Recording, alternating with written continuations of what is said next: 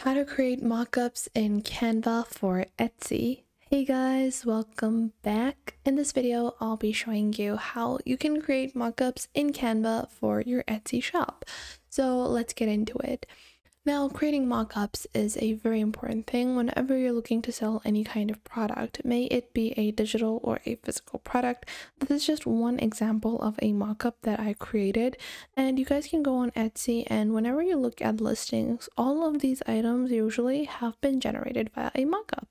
So a lot of digital art is only created with mockups. A lot of different creators are building all of these items and they're only displaying their mockups. So you can easily create these types of mockups using Canva. This can be for a physical item as well. I'm going to show you guys both of those things. So let's get into it.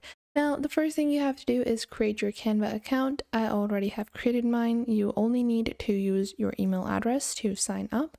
And I am currently using the pro version of Canva, but you don't need the pro version to create mockups. There are hundreds of templates available absolutely for free.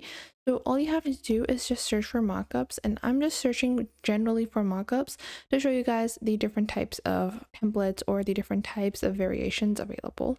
Now, as you guys can see, this is a physical product, a t-shirt, a mockup for that is available. You have book cover mockups, tote bag mockups, you also have card mockups, you have actual digital product mockups such as these printable art mockups, sticker mockups, you have mobile cover mockups, you have packaging mockups. So there are a lot of different things that you can create with these mockups. So let's say first off, we're going to create a for a physical product first, and then I'm going to show you guys how to build one for a physical product. Uh, you need to create a mockup, especially if you're not looking to invest money in, you know, creating the item first and then if no one orders it your product is going to you know be wasted. And just to show you guys an example for those types of products let's say printed t-shirt like this and you can even offer customization in that. So you guys have you know this type of t-shirt your design here. So people can even add their own designs and you can just sell them to the customer. So you guys can see there are multiple variations available. This image is definitely generated with a mock-up this one these ones as well like this. So let's say I want to take my celestial design and I want to add it to a physical clothing item. So what I'm going to do is I'm going to search for clothing mockups on Canva.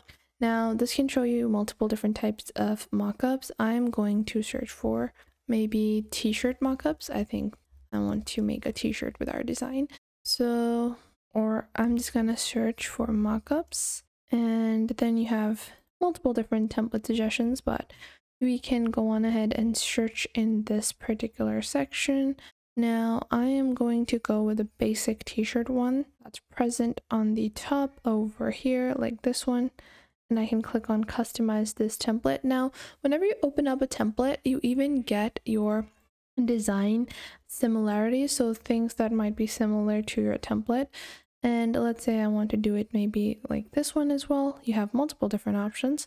So we also have this one this one as well now, let's say I want to use this one instead. I think this looks pretty good, so I'm going to click on customize this template. Now what I'm going to do is I'm going to zoom in and I've uploaded my design over here on Canva. So I am just going to click on this image over here. Obviously this image is a bit too large. So I'm just going to resize this image and I'm going to place it over here, making sure I'm just placing it however I'm going to print this. And just like that, we can add our little product mockups like so. Now, another great thing you can do is go into elements and search for frame and you will see multiple different types of frame. If you're going for a certain type of style, let's say you're going to print out images like this and that's how you're going to add them to the clothing items so you can add them in a frame and then put the frame over here just to make it easier for you to format your items later on as well. And if you go into the element section and you search for mockups over here, you will find multiple different mockups available in the element section as well.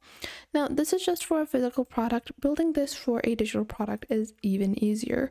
So let's say we are building a frame. If I just search for frame on Etsy, you will see frame prints like this. And then you will see set of three framed maps. You have faceless portraits, mid-century art. So if you take a look at this item over here, this is a rainbow printable. So this is a printable item. And this is the thing with digital products. You don't actually provide the image file. Obviously, people could copy that.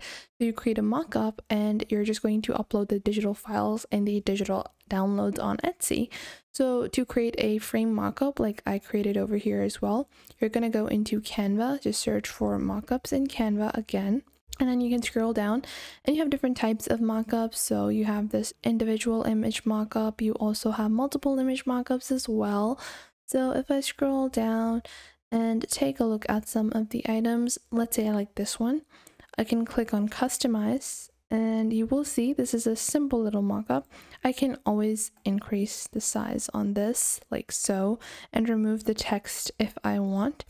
Then you can also go ahead and search for more items that befit the aesthetic tone.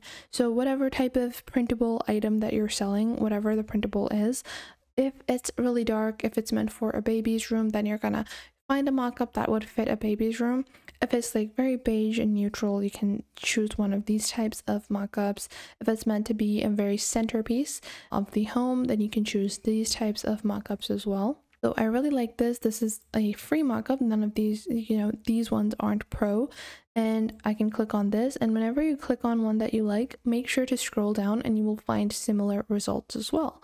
So let's say I also like this one. So I can open this up and then I can upload my digital art or the printable file into these images. So I can just delete these files over here and you even don't even have to delete it. You can just click on the switch item so I'm going to go into my uploads and I'm just going to add my image files over here and just like that the image will be replaced and our new mockup has been created.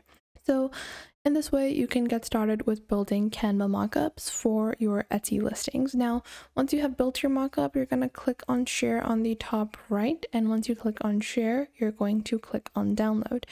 Now, always keep the file size or the quality as high as possible and make sure to always download as a PDF standard or PDF print or JPEG. So because this is just for Etsy, I just download it as a JPEG. It really doesn't matter. And you guys can see over here, we have our file size, which is going to be large, and this is the size of our image. So I can go for 2000 by 2000 pixels as well. And then keep in mind, this was a video because it had some animation. I'm just removing that. You can add your own text over here. And to add some text, just click on text on the top left, click on add title, and you can add whatever text it is. Celestial print art, and I can just add it over here. And I can go into effects and I'm going to give it a background. And I'm going to change the background color to this over here and just like that you can add more info as well whatever info you want to add directly into your mockup image and then click on share download and download as a png so i hope you guys found this video helpful. If you did make sure to leave a like and subscribe to our youtube channel and if you have any questions or queries leave those in the comment box down below. I would love to help you guys out and i will catch you guys in the next video